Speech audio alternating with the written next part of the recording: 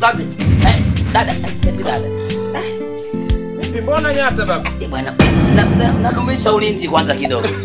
Unajibia mwenyewe? Hapana, unajua hapa watu wananifuatafuata sometime. Unajua mimi mambo yangu safi. Mm. Lazima nidumisha sina ulinzi wa kutosha. Sasa niangalia angalia mazingira kidogo. Ah, Vipi mwanangu? Kama anodi yani, kama anodi yani. Ukaona huyu bwana vipi kwa kweli kwake kwenyewe ananyata. Eh. Wewe acha tu bwana. Ila tuachane naye. Ndio. Sawa. Bwana Mzange, Mm, Ndio. unakumbuka jana pale? Mm. Tulikula ugali. Ugali na sombe. Na vipiripiri ma. Kwa shingo nje.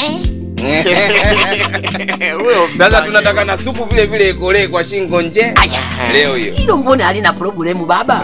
Hilo la supu Eh. halina pro- hivyo ni hapo niko fiti. Sipokuwa Ah, ndio. Isipokuwa nilikuwa nafanya ulinzi kidogo, nadumisha ulinzi ili Eh. wabaya wasiniingilie katika maisha yangu. Mimi niko fiti. Mm. Eh, kama vipi tusiandikie mate na peni ipo. Sawa sawa. Eh.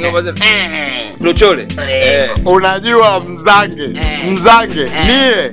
ah, nie ni kutogola we tena ni kutogola ng'ane ng'ane Unanikulika.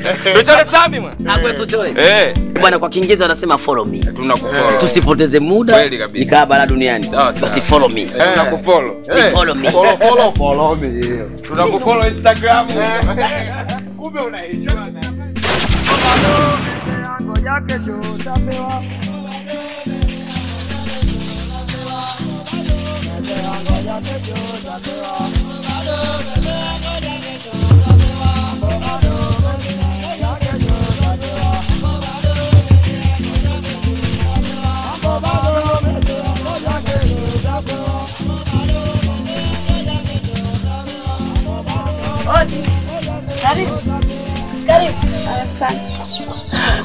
na Marahaba, ujambo? Jambo Za huko? nzuri. Mimi mama naitwa Siawezi, Siawezi Mbegu. Ah, mzee Mbegu Ndilunga huyo alikuwa hapo katikati.